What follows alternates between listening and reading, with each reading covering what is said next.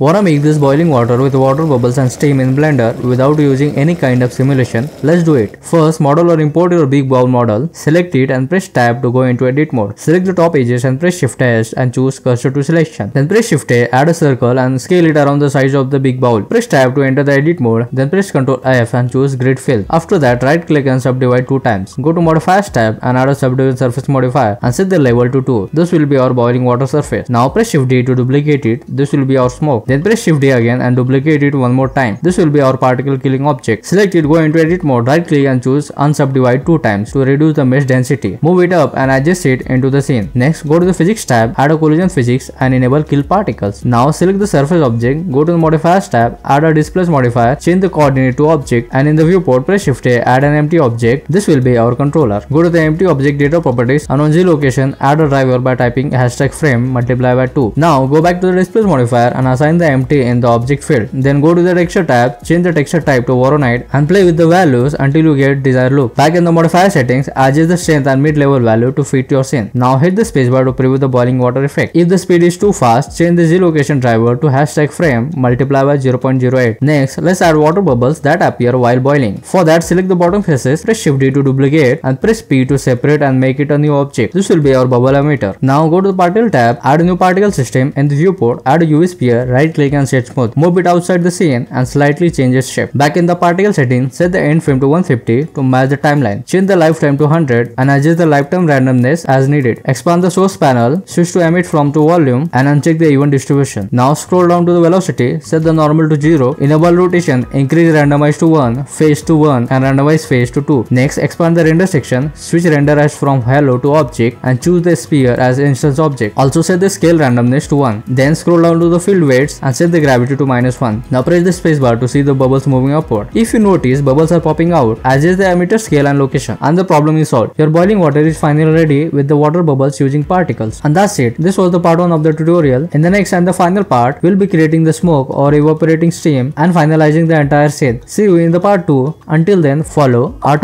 for more.